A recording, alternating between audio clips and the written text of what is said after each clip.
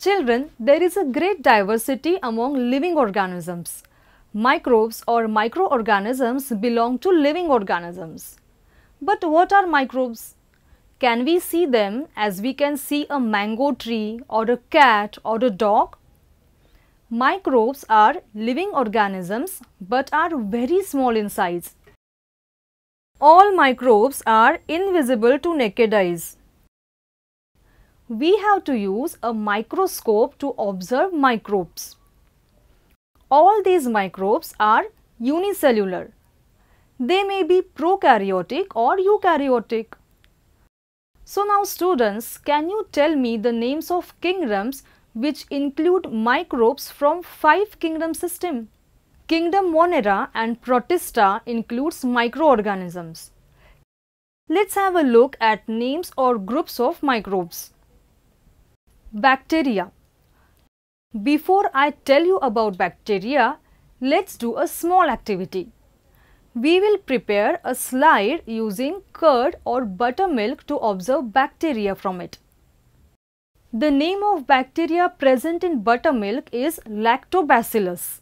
The word bacillus indicates that they are rod shaped. Coccus bacteria are circular.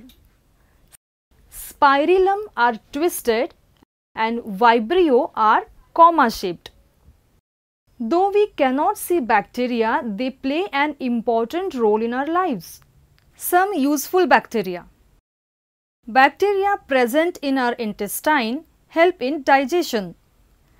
Bacteria are useful in making curd, idli or anarse etc. Some bacteria produce methane. They are used in biogas plants. Some harmful bacteria. Students, bacteria are present everywhere in air, water and soil. They are omnipresent and cause infections. From there, they enter our bodies. Streptococcus pneumoniae causes pneumonia. Clostridium tetani causes tetanus. Staphylococcus aureus causes acne. Treponema pallidum causes syphilis. Legionella pneumoniae causes pneumonia. Clostridium botulinum causes botulism. Salmonella typhi causes typhoid. Vibrio cholerae causes cholera. So students, that is why you must wash your hands before eating food. You should not eat fruits and vegetables without washing them with water. Also, you should drink clean water. Otherwise, these bacteria may enter your bodies causing infections. Kingdom Protista Many members of this group are found in water. So, in just one drop of pond water, you will observe a large number of protists like amoeba, paramecium, euglena, diatoms, etc. Now I will tell you about importance of some members from this group. Many protists are eaten as food by small animals. Diatoms are used in making metal polish, toothpaste, insulating materials etc. We get infections due to some protists. Entamoeba histolytica, it causes dysentery or amoebiasis. Plasmodium vivax. It lives inside female Anopheles mosquito. It causes malaria. Protists named dinoflagellates make water toxic for other plants and animals. Fungi. Students, have you seen fungus growing on bread, pickle or juice? Also during rainy season, have you seen umbrella-like structures growing? These are mushrooms. Have you seen preparation of bread in a bakery? All these organisms are fungi. Fungi have both useful and harmful side.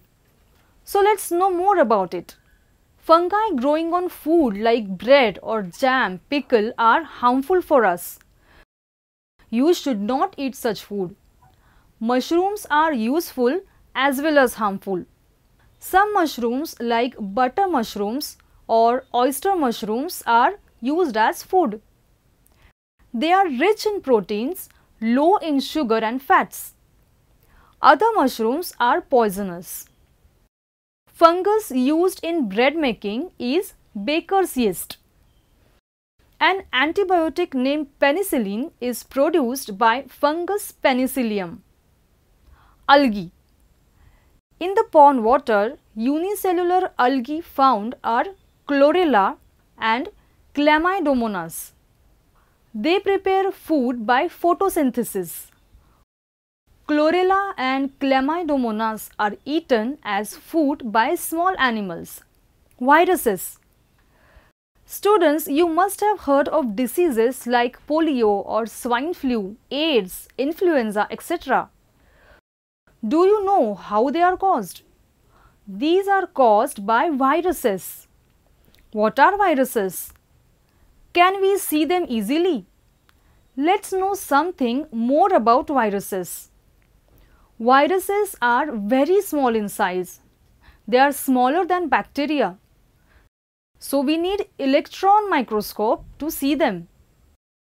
They are inactive in nature. They become active inside living cells.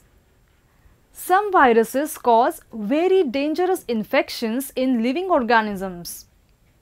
Swine flu, AIDS, polio, influenza are some viral diseases in a man. Viruses also cause diseases in plants like grassy shoot of sugarcane, little leaf of brinjal, bunchy top of banana. Students in Pune city there is an institute named National Institute of Virology or NIV which deals with the study of viruses.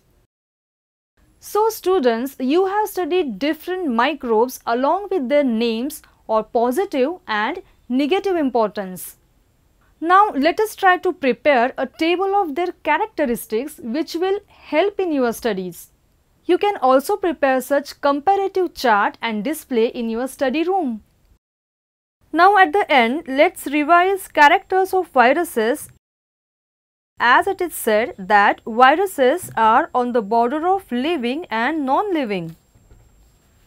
Students, in this video you have come across many names of microorganisms and their applications. In this way, find more examples of microorganisms and try to know their connection in our daily life. Try to perform activities like growing fungus on bread, slide preparation of pond water sample, buttermilk in your school.